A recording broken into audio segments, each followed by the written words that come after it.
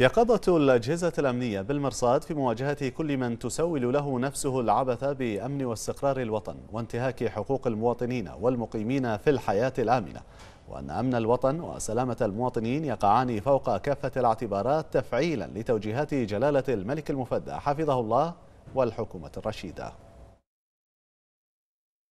أكنتم غافلون يا أنتم عن مصير الظالمين الذين يعيثون بالأرض فسادا كبيرا؟ أم كنتم تعتقدون أنكم غير ملومين عما اقترفته أيديكم التي شلت وقتما زينت لكم عقولكم فعل الشر وتبنيه؟ فعل الشر الذي أوردتموه بحق ديرة لم تقبض يديها يوما من أجل احتضانكم بل بسطتها كل البسط على أمل أن تنتظر انتماء حقيقيا لترابها الطهور. هيهات هيهات. بمنطقكم الأسود أن تتاجرون ببيئة أرض الخلود التي ترعرعتم بها وأكلتم من خيراتها وسقتكم من مائها كي لا تظمؤون ولكن قلوبكم شتى.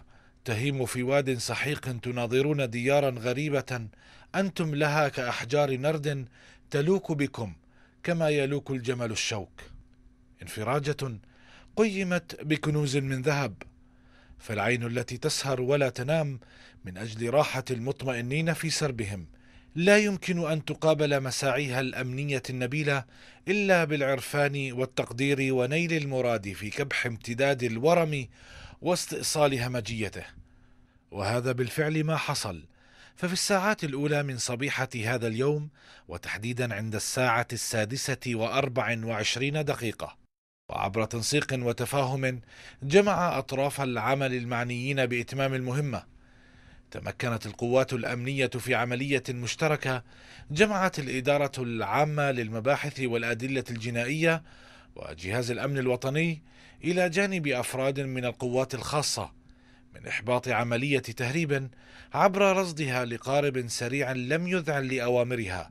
كان يحمل على متنه عددا من المطلوبين في قضايا إرهابية أبرزهم أولئك الهاربين من مركز الإصلاح والتأهيل في جو بتاريخ الأول من يناير الفائت نيتهم معقودة على السفر إلى إيران.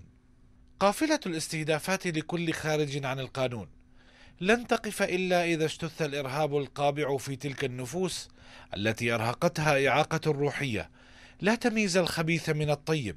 ولا تعي كيف لها أن تعيش بسلام داخليا لتوجه أفعالها الدنيئة بحق تلك اليد التي وجدت أصلا لحمايتها وحماية كل مواطن أو مقيم على أرض المملكة.